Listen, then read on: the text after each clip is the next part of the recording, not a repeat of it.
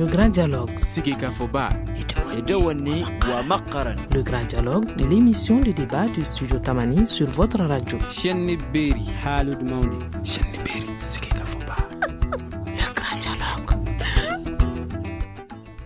Mesdames et messieurs, bonsoir. Une multitude de sujets au menu du forum de la presse de ce vendredi avec entre autres la réunion ordinaire du comité d'état-major opérationnel conjoint qui a démarré aujourd'hui même ici à Bamako. Les affrontements intercommunautaires qui viennent de faire une trentaine de morts à Tenengou dans la région de Mopti, les différents mouvements de grève en cours et la célébration de la journée internationale de la liberté de la presse. Comme invité, nous recevons quatre journalistes. Euh, Benjamin Saga Benjamin Sangala, c'est bien cela.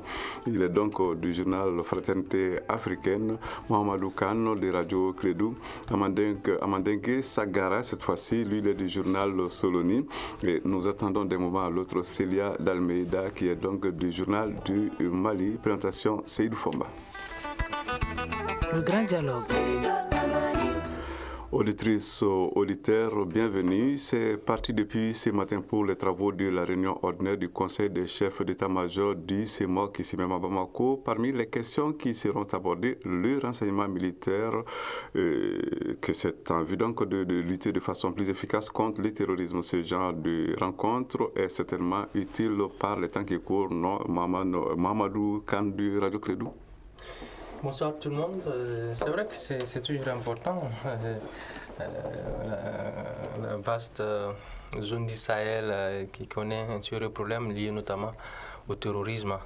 Euh, donc cette rencontre de, Bamako qui regroupe les, chefs d'État euh, majors du, Mali, du Niger, de l'Algérie, la, de la Mauritanie vient, vient à point nommé parce que vous savez, compte tenu de la, de la porosité de, de, nos, de nos frontières, c'est vraiment c'est opportun. Mais cependant, j'ai quelques inquiétudes, euh, notamment sur le fait que le, le Mali, c'est quand même le ventre mou de, de, cette lutte contre le, le, le terrorisme.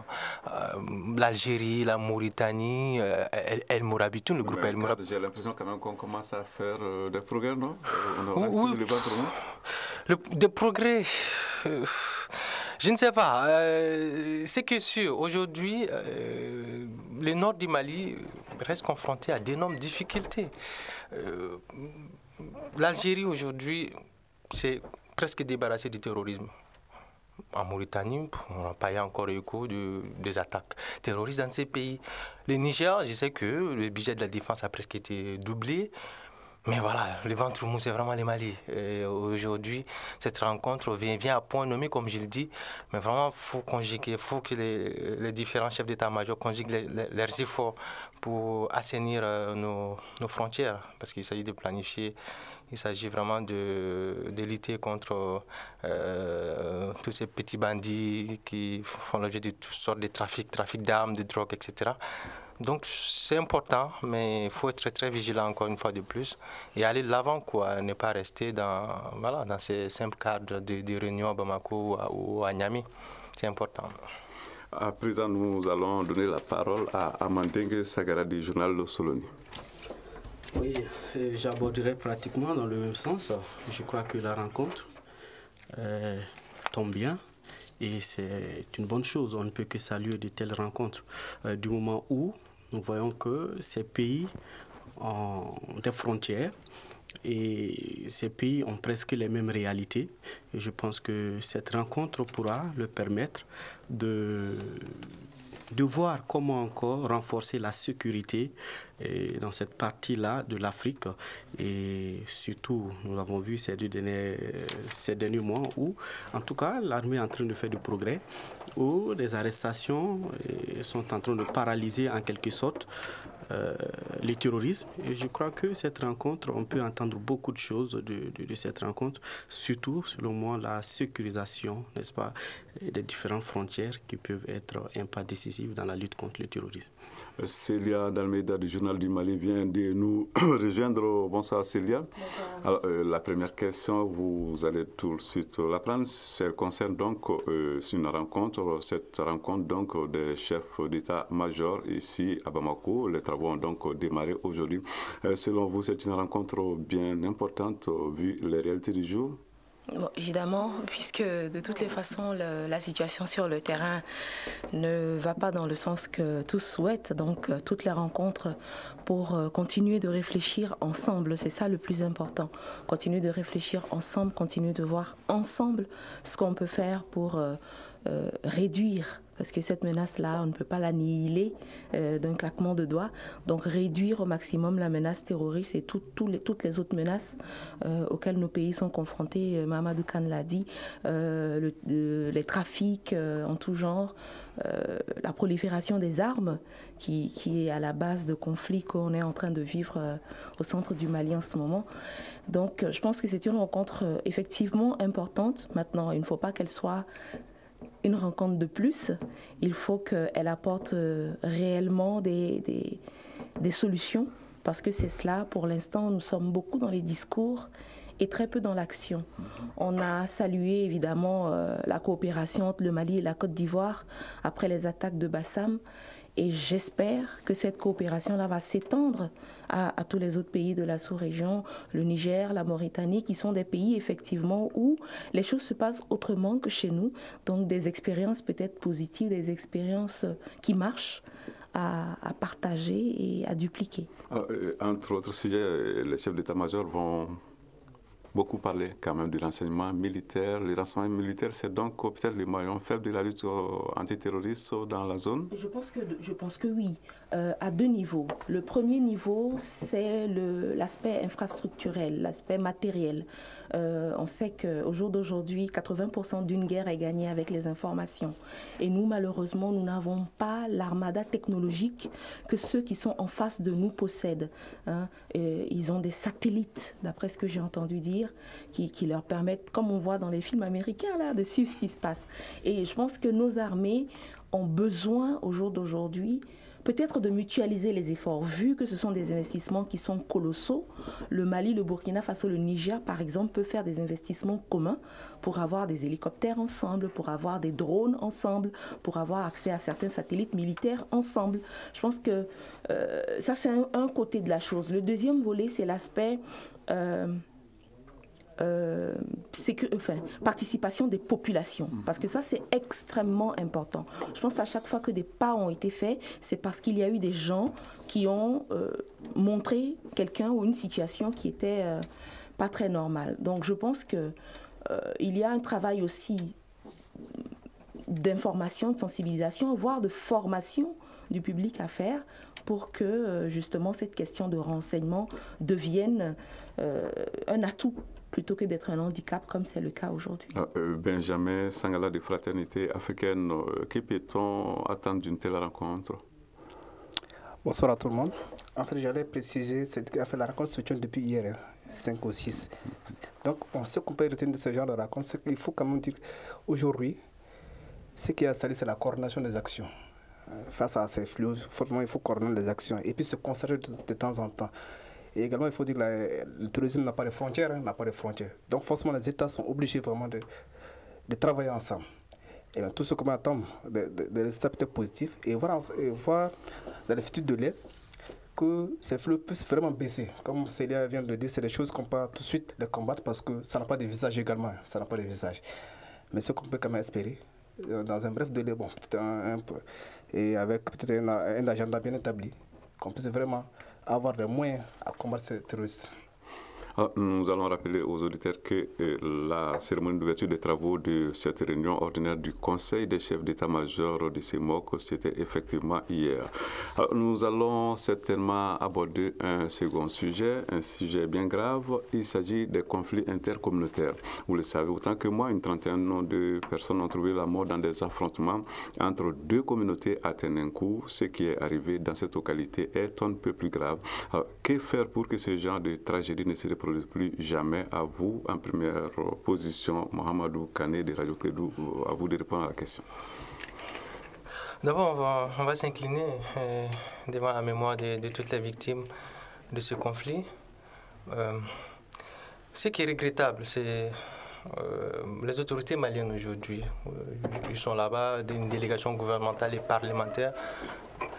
Ça, fait toujours les médecins après la mort. et là-dessus, il est temps vraiment que nos autorités s'impliquent davantage dans les règlements de ce conflit parce que ça a débuté il y a longtemps. L'alerte a été lancée depuis combien de temps? Il a fallu qu'il y ait mort d'homme pour qu'on intervienne. Moi, je dis non, ça c'est inadmissible dans un pays comme le Mali. C'est nous, voilà, on, ne sait jamais de nous targuer pour dire oui, c'est les pays euh, du, cousinage, etc. Comment les Peuls et les, et peuvent en venir là? C'est extrêmement grave pour les Maliens aujourd'hui. On est confronté à ces problèmes euh, liés au terrorisme. Euh, tous les jours que j'ai fait, des armes qui crépitent, c'est des grenades, etc. Et ces conflits perdu dans notre pays depuis des années quand même, les conflits intercommunautaires entre ces, ces, ces, ces populations, soit c'est pour euh, du bétail, soit c'est pour des portions de terre, etc. Donc moi j'en veux beaucoup aux autorités locales d'abord, c'est très important, n'ont pas suffisamment joué leur rôle pour atténuer cette situation. C'est vrai que c'est déplorable pour, pour coup, mais il y a d'autres coup au Mali. Aujourd'hui, ils sont sur place euh, pour s'enquérir des réalités, et calmer les esprits. Mais il faut, faut, éteindre également les autres foyers de tension qui sont susceptibles voilà, de, de, faire la une des, journaux de demain, malheureusement pour nous. Donc vraiment, notre pays ne mérite pas ça aujourd'hui. Euh, J'en veux beaucoup à nos préfets qui savaient que ça n'allait pas entre ces communautés, qui savaient qu'il y avait anguille sous roche et que ça allait péter à un moment ou à un autre? Maintenant, c'est arrivé. Moi, je dis plus jamais ça. Plus jamais ça. Que les, autorités, que Bamako s'implique pleinement, désormais. Il ne faut pas qu'on se limite juste au déplacement des députés, des ministres, pour aller voir les familles, présenter les condoléances de l'État. C'est déplorable. Il faut qu'on avance sur ces dossiers-là, qu'on essaie de régler tous les petits dossiers euh, voilà, dont on ne parle pas assez pour éviter l'embrasement. Voilà, ça c'est mon, vraiment mon point de, vue là-dessus. Sagara du journal c'est vrai, comme l'a dit Mamadou Khan, la tension était bien là, elle était perceptible avant les affrontements. Alors euh, dites-nous maintenant, est-ce qu'il était possible d'anticiper ce qui vient d'arriver, ce qui vient de se passer à Tenenkou Oui, à mon avis, c'était possible. Il fallait juste amener les différentes parties autour d'une table et trouver un terrain d'entente. Si le problème se voyait venir, je crois que rien n'empêchait les autorités euh, de prendre l'avance et faire asseoir les différentes parties et euh, procéder à des négociations. Mais comme il a dit, moi j'accuserais directement les élus locaux. ils sont sur place, c'est à eux de voir ce qui ne va pas et prendre des mesures. Et comme il a dit, malheureusement, ce n'est pas tenu compte. Ces genres d'affrontements intercommunautaires sont, sont quand même quasi fréquents. dernièrement, c'était au pays d'Ogon. Bon, ça passait presque inaperçu, mais il y a beaucoup de morts. Ou pour une question de terre, le pain de terre, où des gens se sont mis à se macheter, à, se tirer dessus. Mais voilà, vous dit que le Mali, en fait, fait face à cette réalité qu'il faut vraiment prendre au sérieux. Il faut que les responsables prennent euh, vraiment le devant des choses et que de telles choses ne se reproduisent plus. Comme il a dit, voilà, nous sommes confrontés à l'attaque terroriste, nous sommes confrontés à l'insécurité. S'il faut que entre peuples encore il y ait des affrontements, je crois que c'est grave. Ça n'arrange pas. Ça ne, peut, ça, ne peut que faciliter le terrain à, d'autres personnes qui ne sont pas euh, de bonne volonté, qui voudraient peut-être voir euh, le Mali s'enfoncer davantage. Je parlerai clairement des terroristes, aujourd'hui qui est un mal commun. Donc, au sein d'une population, vraiment, ces crises ne doivent pas exister de nos jours. Surtout que ce ne sont même pas des raisons aussi solides que ça. Peut-être que des terrains de 20 mètres, euh, c'est regrettable en tout cas. C'est regrettable. Il faut que les autorités prennent les responsabilités pour que de telles situations ne se reproduisent pas.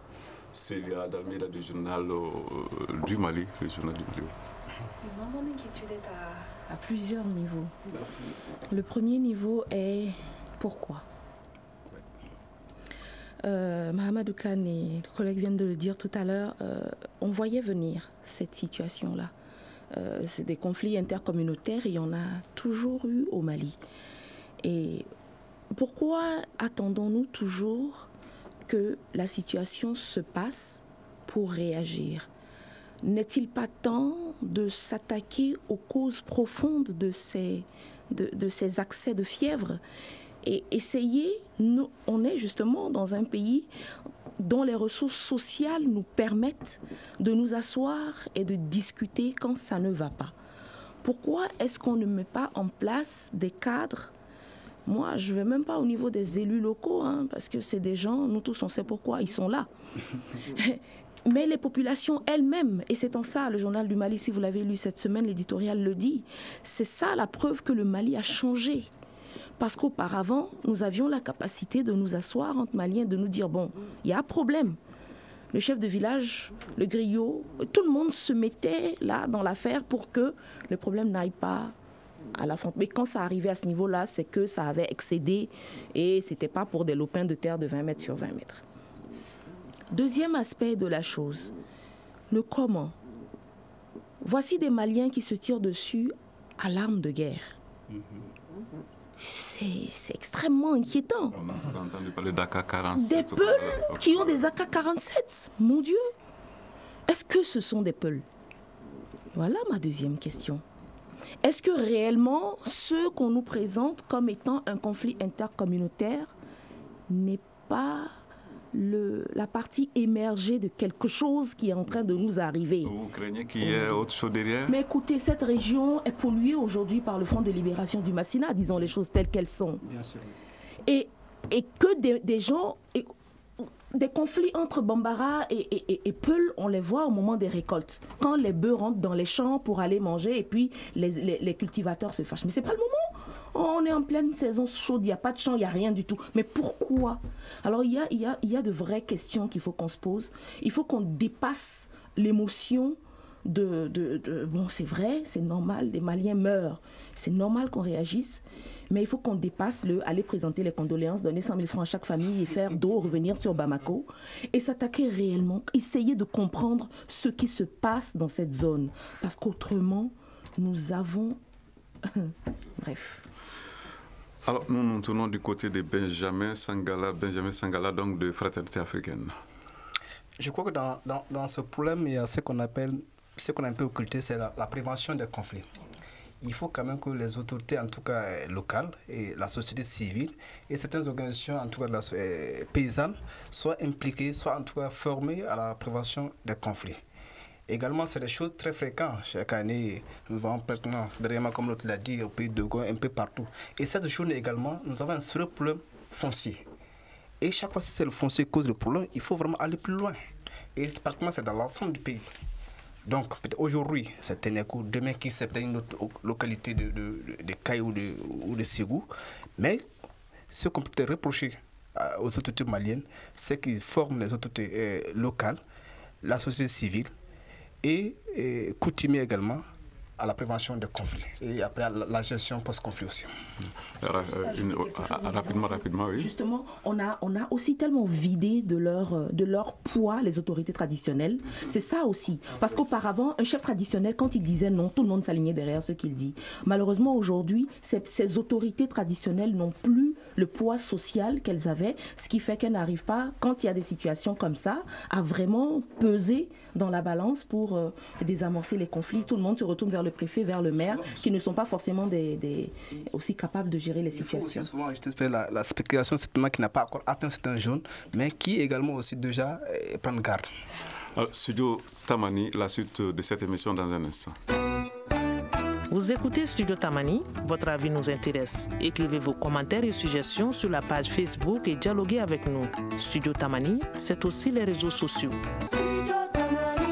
Quatre journalistes dans ce studio pour commenter, échanger sur ce qui aura constitué l'essentiel de l'actualité de la semaine. Ce sont Célia Dalmeida du journal du Mali, Benjamin Sangala de Fraternité africaine, Mohamedou Khan de Radio Clédou et Amadengo, Sagara du journal Soloni. Alors nous allons aborder un sujet, un sujet qui malheureusement se rapporte également à la violence. Il s'agit de l'attaque d'un camion d'une structure humanitaire au nord. Pas plus tard qu'hier, on parlait d'un véhicule d'une ONG qui a été enlevé. Vous savez que euh, pour cette raison, les structures qui sont les ONG et autres ont décidé d'une suspension. Alors, euh, je crois qu'il y a à craindre avec cette suspension, Mamadou Khan.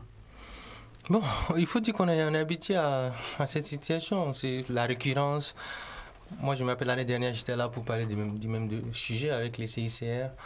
Le problème, c'est que les gens qui, font, qui mènent ces, ces attaques, on, dit les partis signataires doivent euh, respecter les, organisations humanitaires qui interviennent sur le terrain, leur faciliter le travail, et les, et les partis non signataires. ces individus non armés qui, qui, qui n'ont que faire de ces accords. Pourquoi, pourquoi on ne les mentionne pas également? Moi, c'est ça mon problème aujourd'hui. Un véhicule d'une organisation humanitaire, vous, vous pensez que ce jeune drogué, il a la, faculté de savoir que oui, ça c'est les CICR, non, je ne dois pas. Non, non, je suis désolé. Aujourd'hui, le problème au nord du Mali, il n'y a pas que, a pas, il y a, a, pas que la, CMA, il n'y a pas que, a pas que euh, la plateforme. Il y a d'autres. Il y a, il y a Dagali qui sévit à Kidal. Il y a d'autres terroristes qui, qui sont dans la zone. Voilà, qui, qui à tout moment sont prêts à attaquer. Donc aujourd'hui, quand on attaque ces humanitaires, c'est vrai que dans la communauté, euh, il y a les mois, on dit voilà, il faut cesser les activités quelques principes de, de, de, de, ces, de ces acteurs humanitaires, c'est quoi? C'est l'impartialité, la neutralité, l'indépendance, l'universalité. Mais ces gens, je, reviens là-dessus encore une fois de plus, n'ont que faire de ces notions-là. Donc, vraiment, aujourd'hui, le problème, il est là. Est-ce que les partis signataires doivent respecter euh, toutes ces organisations qui sont sur le terrain? Oui. Et les partis non signataires? La question? Non c'est pas leur problème. Et que la situation s'enlise ou pas, c'est pas leur problème. Pourvu qu'ils gagnent, euh, je sais pas, à travers un enlèvement. La dernière fois, c'était quelques travers du CICR. On ne sait même pas dans quelles conditions ils ont été libérés. On nous dit toujours que non, il n'y a pas eu de versement des rançons, etc. Le problème, il est là aujourd'hui. Et c'est très sérieux parce que nous sommes dans une zone de non-droit. Je le disais la dernière fois. Et on ne sait pas qui est qui. Tout le monde est capable de tout aujourd'hui dans cette vaste étendue du, nord du Mali, qui fait, quand même 800 000 km. C'est difficile, ces problèmes. C'est extrêmement difficile et c'est préoccupant. Le problème, c'est qu'il n'y a aucune autorité dans ces endroits-là pour veiller euh, à la sécurité des personnes et de leurs biens. Et tant qu'on n'en arrive pas là, le chemin, il est là et ce sera très très long pour, pour le Mali, pour ses partenaires. Quoi. Sagara du journal.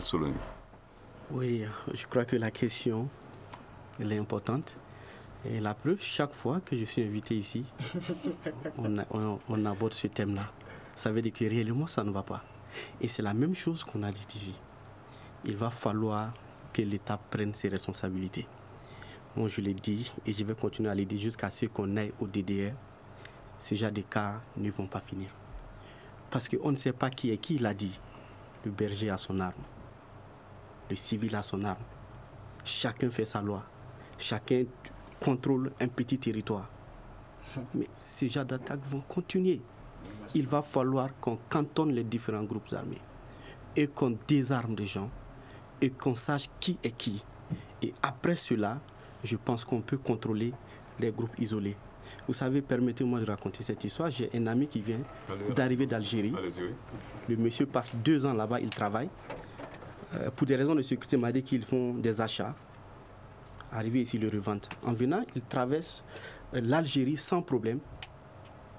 C'est sur le territoire malien qu'ils ont été agressés par des groupes rebelles. Il n'a pas menti, il n'a pas caché, il dit que c'est des Touaregs habillés en treillis. Six jeunes, on les a fait vider le camion. Ils ont tout emporté. C'est pour dire que la population au nord souffre il faut qu'on attaque un convoi humanitaire, il faut qu'on s'attaque à une position de l'aménagement, il faut qu'on s'attaque à un bâtiment public pour qu'on soulève les débats. Sinon, au nord, c'est la galère, permettez-moi de dire comme ça. C'est la souffrance. Et il faut que l'État se lève pour sécuriser la vie de sa population. C'est comme ça, malheureusement, au Mali. Si on ne s'attaque pas à un gros pion, on n'en parle pas. Sinon, ce genre d'attaque, c'est quasi quotidien. Et il faut vraiment que, comme je le disais, l'État arrive à sécuriser ses frontières. Célia Dalmeda du Journal du Mali. Oui, euh, euh, c'est une situation récurrente, comme les confrères viennent de le dire. C'est dans toutes les zones de conflit. Hein. C'est pas qu'au Mali. Hein. Ça arrive en Somalie, ça arrive au Soudan, ça arrive un peu partout, parce que ce sont des, des il y a des bandes d'individus qui vivent de trafic, qui vivent d'argent facile et qui ont besoin de faire des razzias de temps en temps pour financer leurs activités. Je crois que c'est ça. Euh, la quête de, de, véhicules, de gros véhicules, ça, euh, on attaque les convois humanitaires pour voler les médicaments, pour voler euh, l'eau, pour voler, on vole tout. Voilà. Donc bon, je pense que tant que cette situation ne sera pas complètement stabilisée, je pense qu'on va avoir des épisodes comme, comme celui-là. je, ne suis même pas très d'accord avec c'est ça, par rapport à, au fait que la DDR, le, processus DDR puisse mettre fin à cela, parce que euh, quoi qu'on dise, hein, euh, il y en a qui n'ont pas intérêt, qui ne vont pas rentrer dans ce processus-là, et qui vont continuer de garder leurs armes, et qui vont continuer d'attaquer les gens, qui vont continuer d'enlever les gens. Là où je suis d'accord avec vous, c'est qu'il est impératif que cette zone soit sécurisée et soit sécurisée par l'armée malienne. Parce qu'elle connaît le terrain, parce qu'elle connaît les populations, parce qu'elle connaît les réalités, parce qu'elle a le mandat pour le faire, ce qui n'est pas le mandat de la c'est clair, ce qui n'est pas le mandat de Barkhane, c'est clair, on nous l'a assez répété. Et l'armée malienne a le monopole de la violence pour sécuriser sa population et son territoire. et il est temps qu'on y aille. l'armée n'a pas de pouvoir. Mais justement, il faut maintenant qu'on y aille. C'est pour ça que j'abonde dans votre sens en disant qu'il est temps maintenant que justement, euh, on a un certain nombre d'acquis. Hein. On est arrivé à un certain niveau dans la mise en œuvre de l'accord. On est en train de parler de la réinstallation des autorités au nord. Il est impératif que dès que les autorités sont installées, que l'armée les suive. Et c'est à ce moment-là qu'on saura si nous sommes sur la bonne voie ou pas. Ah, je crois qu'on va demander à Benjamin euh, Sangala de Fraternité africaine de, trancher. Il sera impartial, j'espère. Ah non, on est sur la même longueur Je, hein. ne vais peut-être pas trancher. à, la, suite de ce lien, je crois que l'armée doit les précider avant que l'administration de l'armée puisse voir le précider. Ce n'est pas le suivre. Donc, voilà. Mais, voilà. Mais par rapport à l'attaque euh, des camions humanitaires, c'est quoi? C'est que moi, je crois que de plus en plus, les groupes armés eh, doivent clarifier leur position. Hein. Et également, aucun groupe, euh, euh, les groupes armés ne maîtrisent pas également leurs éléments. Ça, arrive, ils ne les maîtrisent pas. Aujourd'hui, bon, nous sommes dans les rangs, demain le soir, bon, on, on s'entribande ou on, s'habille en autre, puis pour aller euh, braquer tel ou tel camion. Deuxièmement aussi, que les organisations internationales ou les, les actions humanitaires soient en coordination, fassent les actions et de façon concertée, que tel ne se lève pas pour aller seul sur un terrain où on sait vraiment que tout est vraiment, nous sommes en insécurité totale. Peut-être qu'ils peuvent vraiment en façon, de façon concertée et puis avec toutes les organisations faire en tout cas le, chemin humanitaire. Mais de façon individuelle, c'est là vraiment jusqu'à le, euh, le terrain n'est pas aussi euh, paisible pour le moment. Voilà. 18h45 dans moins de deux minutes, nous allons observer une courte pause avant de poursuivre cette émission un avis, un commentaire. Réagissez sur la page Facebook de Studio Tamani et restez connectés avec nous. Studio Tamani sur les réseaux sociaux pour vous faire entendre. À présent, nous allons aborder un autre problème. Vous l'avez constaté certainement, euh, il y a quand même assez de mouvements de grève, le CINEV en grève, la CSTM aussi. Alors, ça ne semble pas du tout aller sur le front social. Pourquoi, selon vous, Mamadou Khan, de Radio Clédou mon pays, mon pays va mal, comme le dit Tikendia, et si tous les fronts, le pays, le pays va très mal. Euh, je commencerai par euh, la CSTM, qui, je crois, euh, est arrivée à un niveau, comment on appelle ça, c'est le point du non-retour presque avec les autorités maliennes. La le 1er mai, la CSTM a organisé un meeting dans, dans ses locaux. le symbole est très fort. C'est pour dire on est mécontent. Euh, la malgouvernance, euh, la restriction des libertés syndicales. Euh, déjà sur les revendications, je crois qu'il y a 21 des, 33 points qui ont été satisfaits par, l'État. C'est là où il y a le blocage, quand l'État dit qu'il n'y a pas d'argent et que, les syndicats Réchine a dit que non, c'est pas possible. Et pourtant, on voit tous ces réalisations, et pourtant, il y a tous ces détournements, etc. Moi, je pense que le problème ici au Mali, c'est la malgouvernance clairement. Pourquoi? Pourquoi la système met en avant la malgouvernance? Parce qu'ils se disent qu'il y a trop de scandales dans ces pays pour qu'on ne puisse pas régler leurs problèmes. C'est-à-dire qu'on en est, en est là aujourd'hui clairement. À Mion Guindo, quand il parle, je pense que le premier argument qu'il met en avant, c'est cela. Donc aujourd'hui, euh, pour les, les SNEB, euh, les syndicats de, de, de l'enseignement des de bases, c'est le même problème des sous qui se posent. Et l'État n'a pas d'argent. Soyons honnêtes, malgré tous les problèmes. Qui ne prend pas des engagements s'il n'a pas d'argent Oui, oui, oui, oui, les engagements. Bon, c'est vrai que c'est pas facile. Moi, ce que je déplore dans ces pays, c'est que on est dans une période trouble, vraiment trouble, euh, sur tous les fronts. Ça bouillonne partout. Ça bouillonne partout. Et il y a la malgouvernance qui sévit. Qui sévit, qui est dénoncée par euh, certains syndicats, qui est dénoncée par certaines organisations nationales ou internationales. Donc, tout ceci sont des motifs pour ces organisations, pour ces syndicats, pour finalement dire non, on ne va pas lever le moteur de grève. Non, on va marcher. La système, la preuve, va marcher le 12 mai. Voilà. Donc, le blocage est partout, est total.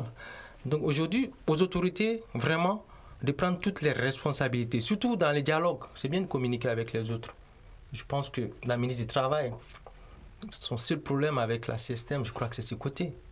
Donc, dorénavant, qu'on essaie de s'asseoir autour de la table, de tomber d'accord. Comme on le dit, nous sommes des Maliens, nous sommes des Maliens vraiment. Au Mali, on a cette culture-là, la, la grande sœur Célia l'a dit, on a cette culture euh, vraiment de, euh, par rapport aux approches, on essaie de se comprendre, tomber d'accord sur des terrains d'entente, c'est très important. Mais les Maliens, c'est pas non, je t'écoute pas, non, je suis pas d'accord avec toi, tu mens. Non, franchement, on a, on a, on a vraiment atteint des sommets maintenant. Je sais pas si la, c'est la crise qui a fait ça à notre pays, les Mali, ces beaux pays-là, on a perdu presque toutes nos valeurs. Avant, on ne voyait pas ça au Mali. Aujourd'hui, c'est le cas. Et on doit se demander qu'est-ce qui a changé entre-temps? Moi, je pense que c'est les gens qui ont changé. Nous avons changé. Nous ne sommes plus les mêmes. Nous sommes devenus arrogants. Nous, nous sommes devenus hautains. Chacun, voilà, se, se morfond dans sa petite bulle. Non, je ne t'écoute pas. Non, tu n'es pas plus beau que moi. Il faut qu'on faut qu'on, faut qu'on évite ces choses-là. Il faut qu'on aille de, de l'avant. C'est très important. Amandege Sagara du journal Soloni. Oui, euh, je crois que les réclamations, les revendications sont bien légitimes. Mais je crois que l'autorité malienne est en train de faire son possible. Et quand je prends surtout, oui, quand je prends l'enseignement, cinq ans en arrière, c'était pas comme ça. Il y a eu beaucoup d'avancées, il faut le reconnaître. SNEP ne peut pas nier. Le- les indices euh, grimpent et les enseignants sont de plus en plus dans des conditions. Je sais, il y a beaucoup à faire. Je suis aussi enseignant. Mais ce que je veux dire, c'est quoi? Ne faut pas que les syndicats se mettent toujours aussi à mettre la pression, la pression, la pression. C'est comme je le disais, tout travail a le droit de revendiquer. Mais qu'on ne prenne pas des revendications pour paralyser le pays. Qu'on ne prenne pas des revendications pour punir un régime. Et aujourd'hui, j'ai l'impression que c'est vers ça qu'on est en train de partir. On veut montrer aux yeux du monde que, voilà, ça ne va pas. C'est la paralysie, mal gouvernance. Quand on, quand on voit les discours, c'est un peu ça, un bras de fer euh, avec le gouvernement. Le gouvernement, c'est qui?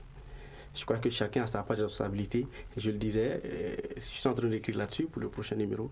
Il ne faut pas toujours réclamer, mais il faut être efficace sur le terrain. Aujourd'hui, vous partez dans les services publics, c'est pas toujours beau. Hein. Il y a beaucoup de choses à faire. Ils, sont, ils, aussi, ils ont aussi des défis à relever.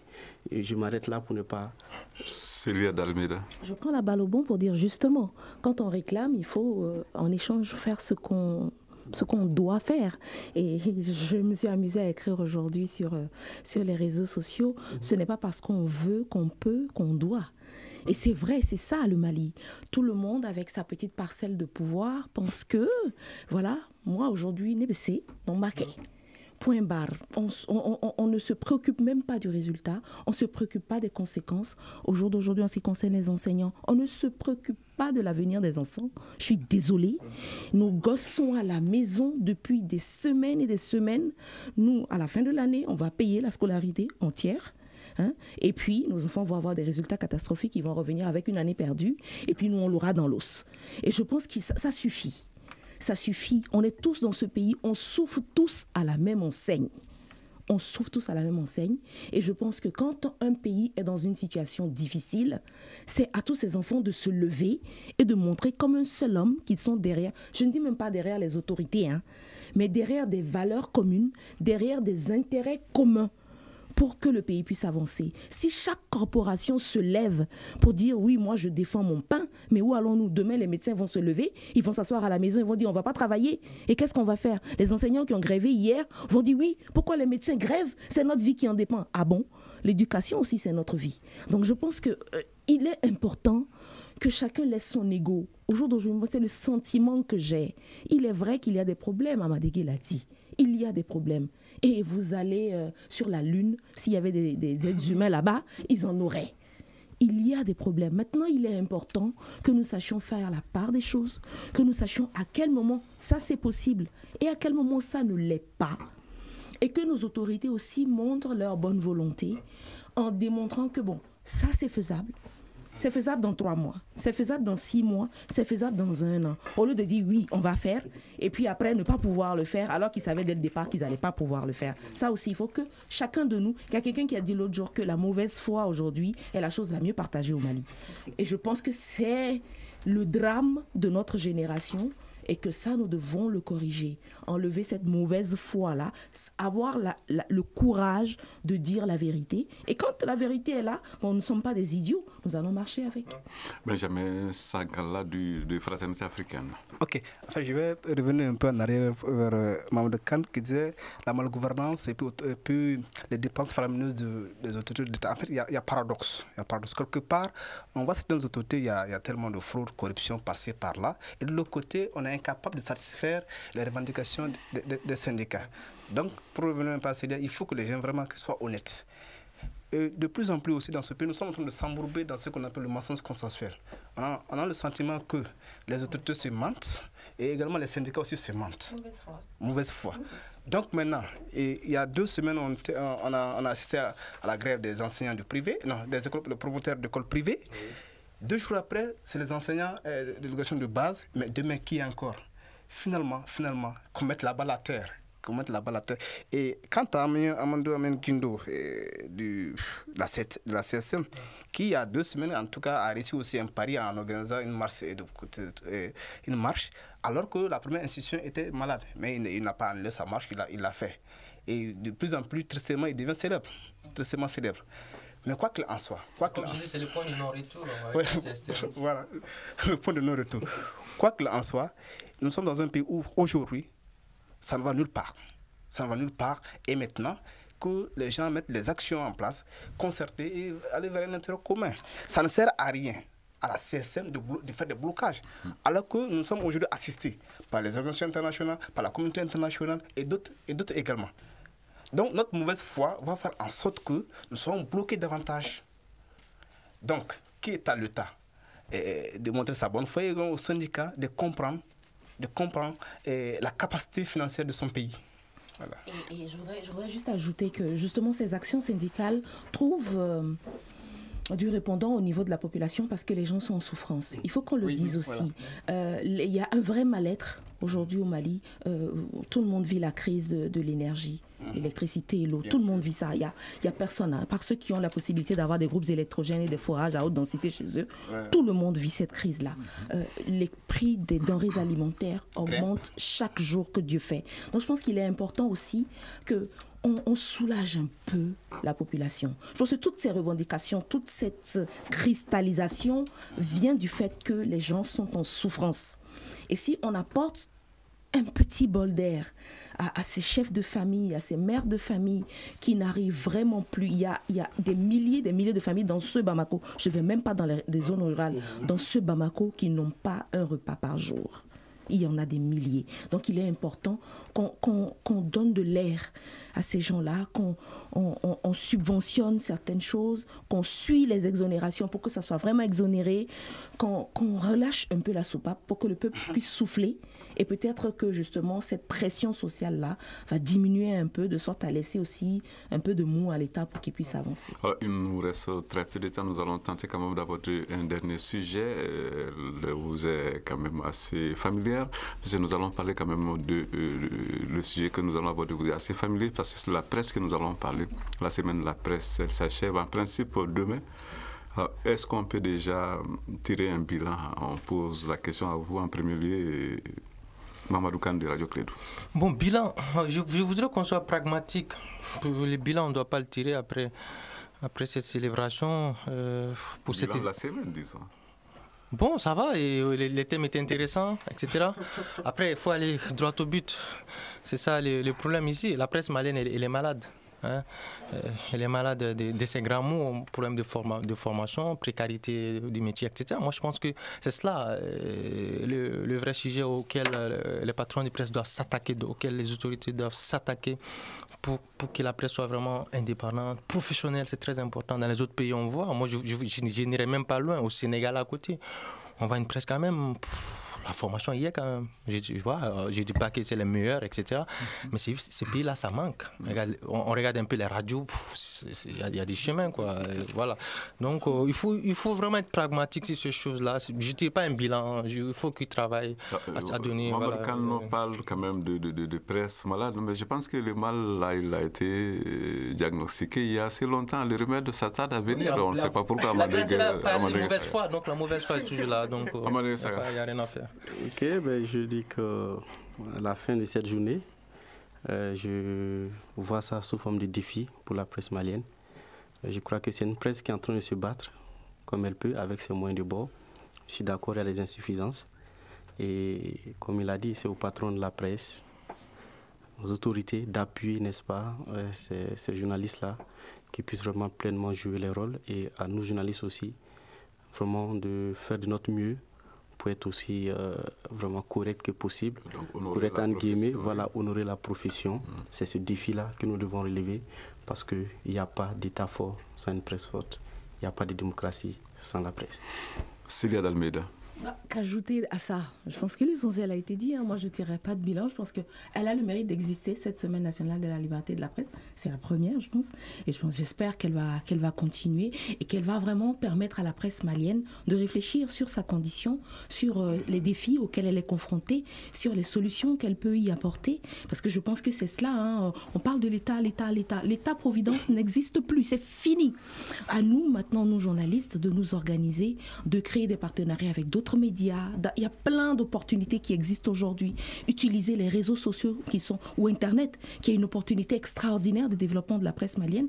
Utiliser toutes ces ressources que nous avons et que nous sous-exploitons ou que nous mal exploitons pour avoir, comme il l'a dit, une vraie presse, c'est-à-dire une presse professionnelle, une presse qui respecte la déontologie, une presse qui est agent de développement et une presse qui permet à ces journalistes de vivre. Parce que ça suffit des journalistes qui sont payés à 50 000 francs à la fin du mois. Il faut qu'on ait des journalistes qui vivent de leur métier parce que c'est comme ça qu'on aura des jeunes qui vont avoir envie de suivre cette profession et qui vont suivre nos pas. Tant qu'on va voir des journalistes misérables, personne ne va vouloir venir et ce seront toujours les vieux de la vieille qui vont avoir la même mise sur ce métier nous n'allons pas avancer. Benjamin Sangala de Fraternité africaine. Oui, au-delà du, au -delà du bilan, il y a ce qu'on appelle chaque année euh, euh, Reporters sans frontières, donc quand même le classement de la presse. Bon, au Mali, on a, on, a, on a régressé, on a, cité, on a quand même perdu 4 à 5 places. Mais c'est que sur. Je pense à quelle importance ces classements Oui, je, je, viens, je viens. Mais je, je ne sais pas. Il nous reste très peu de ouais, temps. Je ne sais, donc soyez très bref. Ouais, je, je, ne sais pas sur quelle base, sur quelle base ils ont fait leur classement. Mais quoi qu'il en soit, c'est leur classement. Mais c'est que sur le Mali, comment a régressé. Bien. Deuxièmement aussi, parlant de la condition en tout cas de la presse au Mali, c'est que nous avons pleinement, nous avons tellement de titres, tellement de radios, aujourd'hui l'audiovisuel qui est en train de grimper, et les journaux en ligne, tout ça. Mais quelque, mais quelque part aussi... on va finir donc. On va finir. Quel, quelque part, quelque part, il y a ce qui manque, c'est les conditions de travail. Vous savez, les journaux se créent aujourd'hui au Mali sur fond de frustration la plupart, sur fond de frustration. Et maintenant aussi, ce qui se crée, il part quand même à partir d'un conflit et il n'arrive même pas à honorer les mêmes engagements qu'il a quand même fait partie de leur journaux d'origine. Donc, deuxièmement aussi, de plus en plus, le média malien devient de plus en plus professionnel aujourd'hui. Il faut le comprendre. C'est plus comme il y a deux ans. Bravo à nous. Alors, voilà. Donc, je crois qu'on va s'arrêter là puisque le temps est parti est déjà fini. Il reste donc à remercier nos invités, nos invités qui sont donc au Célia d'Almeida du Journal du Mali, Benjamin Sangala de Fraternité africaine, Mohamedou Kano de Radio Clédoum, Amandege Sagara du Journal Soloning. Mise en onde Mamadou Ouattara, régie vidéo Nuhuntiré, réalisation Ousmane Djadje Touré, présentation Seydou Fomba. On se retrouve dans une semaine pour notre forum de la presse. Bon week-end. Le grand dialogue. Le grand dialogue de l'émission de débat du studio Tamani sur votre radio.